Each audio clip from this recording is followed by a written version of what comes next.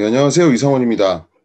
어, 이번 시간에는 앞에서 배운 어, 두 모집단의 모평균 차이에 대한 신뢰 구간과 두 개의 모평균에 대한 그 가설 검정, 어, 두 개의 모평균의 차이에 대한 가설 검정을 한번 예시를 들어서 설명을 해보도록 하겠습니다. 자, 여기 지금 보면은 어, 다음은 정규 모집단 A와 B로부터 추출한 콜레스테롤 측정 값이다. 그래서 첫 번째로는 모평균 차이에 대한 95% 신뢰 구간을 구하라 라고 되어 있고요. 두 번째는 A 집단의 평균 콜레스테롤 수치가 B 집단의 평균보다 높다고 할 수 있는지 유의 수준 0.05에서 검정하시오. 두 가지 문제가 나왔습니다. 자, 그래서 지금 보시면은 모집단 A와 B로부터 각각 지금 20개씩의 표본을 지금 추출한 그 결과가 지금 나와 있는데요. 자, 일단은 평균부터 한번 구해 보겠습니다. 평균은 average라고 하는 함수를 이용해서 우리가 구하면 되죠. 그래서 첫 번째부터 마지막 수치까지 쭉 해서 구하고요. 예, B도 마찬가지로 똑같이 copy paste해서 구할 수 있죠. 자, 표준 편차 같은 경우는 standard deviation이라고 하는 함수를 사용한다고 그랬습니다. 자, 그래서 이것도 마찬가지로 위에서부터 아래까지 예, 20개의 데이터를 드래그해서 예, 구하고요. 그 다음에 마찬가지로 B도 똑같이 카피 페이스트해서 구했습니다. 자, 그 다음에 이제 합동 표준 편차라고 하는 것을 구해야 되는데 일단은 어, 지금 보면은 두 개의 표준 편차가 어, 서로가 서로에 대해서 지금 두 배를 넘지가 않죠. 네, 그렇기 때문에 우리가 합동 표준 편차를 어, 분산이 같다. 예, 표준 편차가 동일하다라고 생각을 해서 합동 표준 편차를 구할 수가 있는데 자 합동 표준 편차 구하는 공식이 어떻게 됐었, 죠 보통 이제 SP라고 보통 이제 나타내고요. 그죠? 예. 이걸 이제 합동 표준 편차라고 얘기를 하고 그다음에 이 값은 이제 뭡니까? 합동 표본 분산의 루트를 씌운 값이죠. 예, 양의 제곱근이 되겠습니다.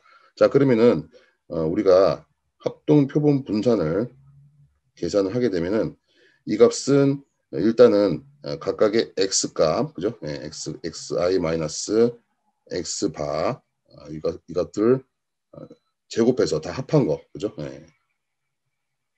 x에 대한 제곱합과 이거는 이제 i는 어떻게 됩니까? 네, i는 1에서부터 n1까지 네, 된다고 말씀드렸고요.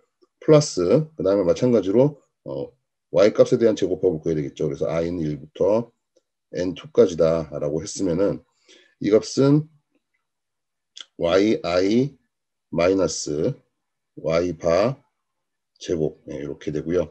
그 다음에 이제 이걸 갖다가 어, 각각의 어, 자유도의 합으로 나누죠. 그래서 n1 플러스 n2 마이너스 2 예, 이런 식으로 우리가 구할 수도 있고요. 아니면은 각 표본의 어, 분산을 이용해서 우리가 구할 수도 있죠. 그러면은 어, 이 값이라고 하는 것은 어떻게 돼요? 지금 보면은 분산에다가 그죠? 네, x에 대한 분산에다가 어, x에 대한 자유도를 곱한 값이나 마찬가지니까 그래서 어, 그런 식으로 구하면은 예, 이 값은 n1 마이너스 1 곱하기 그 다음에 s1 제곱 예, 이렇게 되고요. 플러스 예, 여기는 n2 마이너스 1 s2 제곱 네, 이렇게 되겠습니다. 이 값을 n1 플러스 n2 마이너스 2 예, 이렇게 한 거니까 자 이 값 그대로 그냥 엑셀에서 한번 구해 보도록 하겠습니다. 자 그러면 이제 어떻게 구하면 되겠습니까? 아, 이꼴 하고요. 예, 그 다음에 예, n1 마이너스 1이 지금 보면은 예, 20 마이너스 1 19죠. 예, 19 곱하기 S1은 지금 위, 에 나와 있습니다. 그죠? 예, 그래서 어, 지금 보면은 아, 일단은 괄호를 하고요. 괄호하고 19 어, 곱하기 그 다음에 어, 표준 편차가 이제 위에 거죠. 예, 이걸 그대로 쓰는 게 아니라 제곱을 합니다. 그렇죠? 예, 제곱을 하고 어, 플러스 그 다음에 또 마찬가지로 19 n2도 19니까 곱하기 위에 있는 표준 편차 곱하기 제곱 그죠? 예, 이렇게 해서 어, 이 값을 이제 뭘로 나눠요? 나누기 N1은 20이고 N2도 20이고 40에서 1을 빼니까 38이겠습니다. 그죠? 38 이렇게 해서 우리가 아, 아 그런데 이제 요걸 구하면 안 되죠. 예, 여기다 이제 어떻게 합니까? 마찬가지로 예, 전체를 갖다 이제 마찬가지로 루트, 루트를 씌워줘야죠. 그래서 SQRT 하고 나서 예, 이런 식으로 예, 씌워주면 되겠죠. 자, 그래서 합동 표준 편차가 지금 42.89가 나왔고요. 자, 그 다음에 그러면 신뢰 구간 예, 각 모집단의 차이에 대한 신뢰 구간을 구하면은 자, 요거 같은 경우는 우리가 어떻게 구하면 됩니까? x바 예, 마이너스 y바 그 다음에 플러스 마이너스 t 한 다음에 그죠? 예. n1 플러스 n2 마이너스 2가 얼마입니까? 지금 보면은 38이라고 했죠? 예, 38이고요.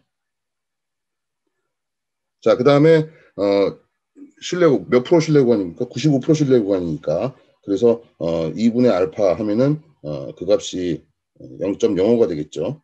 그래서 2분의 알파 0.05 나누기 2 네, 이런 식으로 해서 어, D값을 구할 수가 있고요. 자, 그 다음에 이제 곱하기 예, SP, 그죠? 예, SP 루트하고 N1분의 1 플러스 N2분의 1 예, 이렇게 구한다고 했습니다. 이 값이 바로 뮤1 마이너스 뮤2의 예, 신뢰 구간이다 라고 볼 수가 있는 것이죠.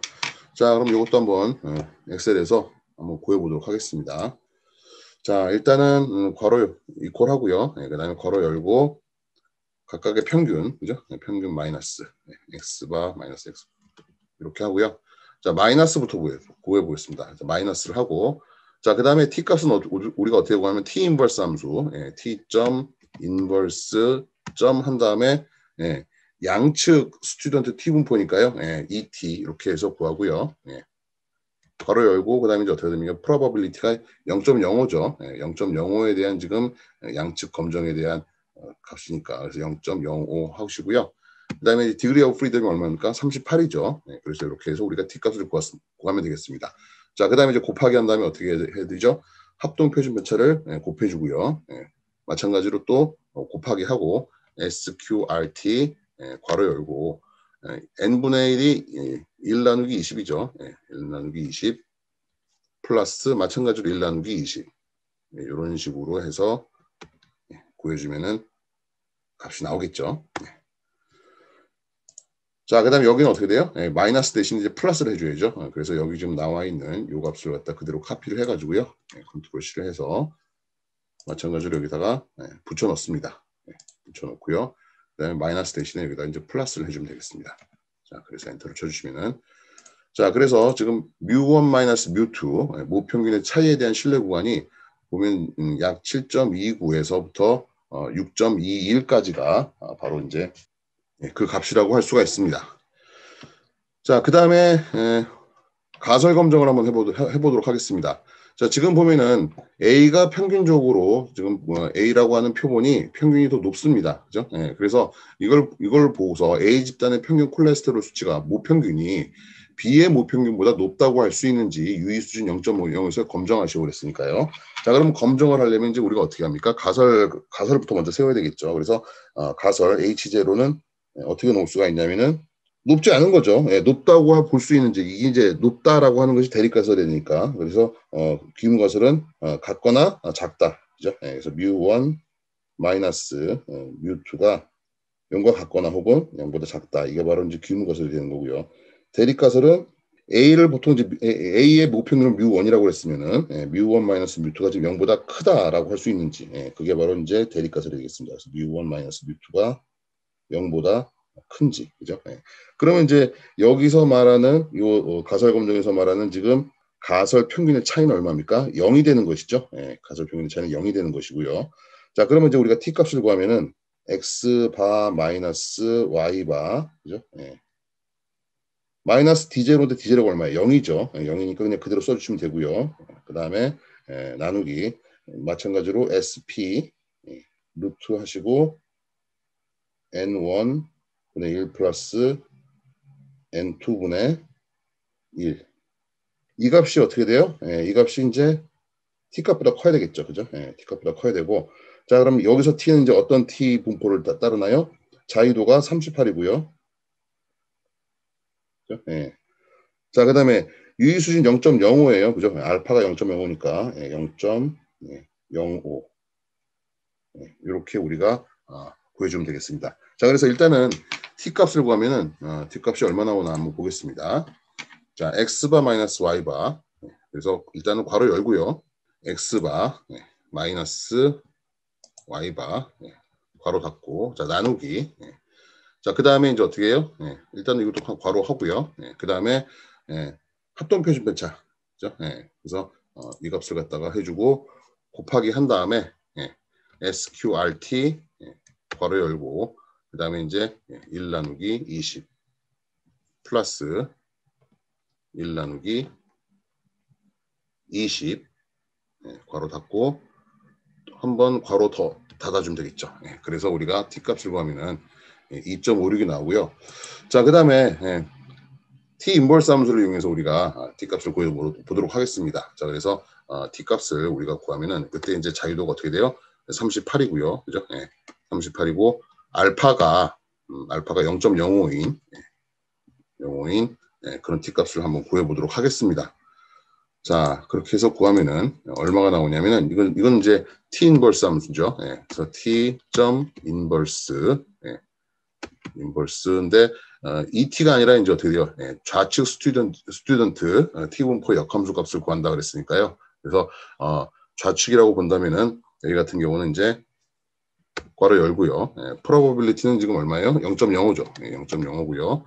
콤마하고 나서 degree of freedom 38입니다. 예, 그렇게 해서 예, 구하면 t값은 예, 마이너스 1.68 그죠? 예. 근데 지금 좌측이니까 사실 1.68로 봐야 되겠죠. 그죠? 예, 그래서 예, 1.68이고요. 그러면은 t 값이 지금 예, 요, 요 값이 중심 축량이 지금 어, 자유도가 38이고 그다음에 알파가 0.05인 그런 어, t 값보다는 어떻게 됩니까? 훨씬 더 크죠. 그죠? 예, 훨씬 더 크기 때문에 H0를 기가한다. 예, 우리가 이렇게 생각할 수가 있는 것이고 그럼 결론적으로 어떻게 됩니까? 아, A 집단의 모평균이 B 집단보다 아, 유의적으로 유의하게 크다라고 우리가 볼 수가 있습니다.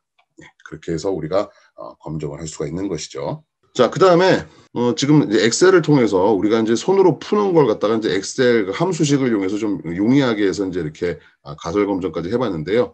자, 그러면은 이 데이터를 그대로 한번 이 미니 탭에다가 통계 프로그램에다 갖다 넣고요. 한번 그러면 통계 프로그램에서 어떻게 우리가 할 수 있는지 를 보겠습니다. 그래서 여기다가 A, B 카피를 하고 자 여기서 이제 어떻게 구하냐면 통계 분석으로 가셔가지고요. 예, 기초 통계에 들어가서 two sample T 그죠? 예, 이 표본 T 검정이라고 하는 예, 이 부분을 클릭을 합니다. 그죠? 예. 자그 다음에 아, 요거 같은 경우는 지금 예, 각 표본이 자체적인 열에 있는 경우 예, 그래서 표본 1이 지금 예, A고요. 그죠? 예, 표본 2가 예, B 이렇게 우리가 할 수가 있겠습니다. 자, 그 다음에 옵션에 가셔가지고 신뢰 수준은 95%고요. 그죠? 예, 자, 규모 가설에서 차이는 어떻게 됩니까? 어, 지금 보시면은 여기에 예, 0이죠. 그죠? 예, 그래서 어, 가설 평균 차이가 지금 0이라는 걸 여기서 보여주면 되고요. 대립 가설은 어떻게 돼요? 예, 뮤1 마이너스 뮤2가 지금 차이가 0보다 아, 크다. 그죠? 예, 규모 가설에서 차이보다 크다. 요걸 갖다가 선택을 해주시면 되겠습니다. 그래서 어, 지금 우리가 통계 소프트웨어를 사용을 하면은 표준 편차라든지 합동 표준 편차라든지 뭐 평균이라든지 하는 것들을 굳이 계산을 안 해도 자, 동적으로 계산을 해주니까 굉장히 편리한데 어, 우리가 좀 특히 주의해야 될 것이 이제 뭐냐면은 바로 어, 가설을 세우는 방, 네, 어, 가설을 세운 것들을 이제 여기 소프트웨어에 맞게 잘 넣어주는 것이죠. 여기 지금 보시면 차이라고 하는 게 지금 표본 일평균 x 바 마이너스 y 바 그죠? 네, 이런 식으로 좀 돼 있고요. 그러다 보니까 어떻게 됩니까? 어, 마찬가지로 우리가 구하는 모수라고 하는 것도 뮤1 마이너스 뮤2라는 형태가 되는 것이고요. 네, 거기서 어, 그렇게 해주고요. 자, 등분산을 가정을 하게 되면은 여기다 어, 체크 표시를 해주시면 되고요. 등분산이 아닌 경우는 이제 체크 표시를 안 해주시면 됩니다. 근데 여기서는 지금 어떻습니까? 각각의 표준 편차를 봤을 때 서로가 지금 두 배를 넘지가 않기 때문에 우리가 이제 등분산이라고 아, 가정을 하고 확인을 누르시고 나서 그다음에 이제 어, 확인을 누르시면 됩니다. 자 그래프도 한번 그려볼까요? 일단 예, 개별각 그림과 상자 그림에 대해서 한번 그려보고 네, 확인을 누르시면은 자, 이런 식으로 그림이 나타나고요.